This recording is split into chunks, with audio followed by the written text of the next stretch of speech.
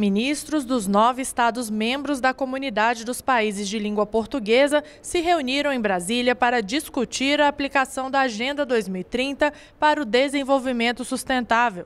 Durante a abertura do evento, o presidente Michel Temer destacou temas importantes para a cooperação entre os países da CPLP.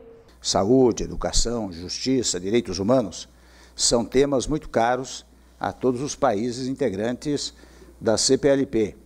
E aqui no Brasil, por exemplo, esses temas todos ganharam estatura e disciplina constitucional para revelar a importância deles todos. Por exemplo, saúde e educação, a nossa Constituição estabelece que é dever de todos e também do Estado. Além do Brasil, fazem parte da comunidade Angola, Cabo Verde, Guiné-Bissau, Guiné Equatorial, Moçambique, Portugal, São Tomé e Príncipe e Timor-Leste. A população dos países membros da CPLP soma quase 270 milhões de pessoas. A comunidade conta ainda com 10 países que têm o estatuto de observadores associados, como Hungria, Japão e Uruguai.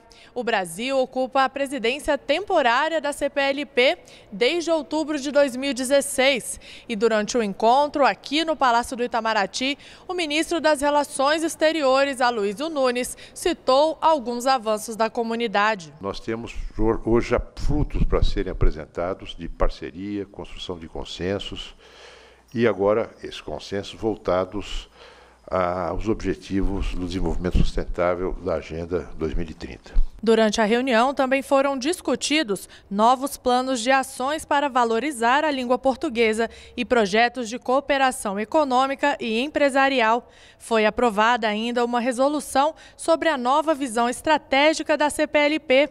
O documento define as prioridades da comunidade pelos próximos 10 anos. Ao esforço de transformar as diretrizes estabelecidas pela nova visão estratégica em ações e resultados concretos, soma-se o desafio de alinhar a CPLP aos compromissos globais plasmados na Agenda 2030 para o Desenvolvimento Sustentável e os seus 17 Objetivos de Desenvolvimento Sustentável. Quanto maior for a coesão e a vitalidade interna da CPLP, maior será a nossa vitalidade e a força externa.